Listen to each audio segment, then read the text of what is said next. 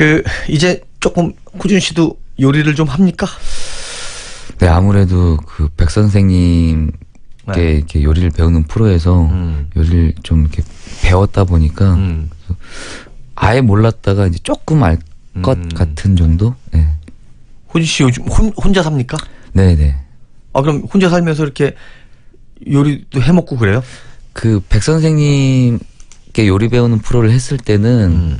복습 겸 예습 겸 이렇게 했었는데 음. 근데 또 이제 혼자 있다 보니까 거의 시켜 먹고 잘 안 하게 되더라고요. 그렇군요. 네.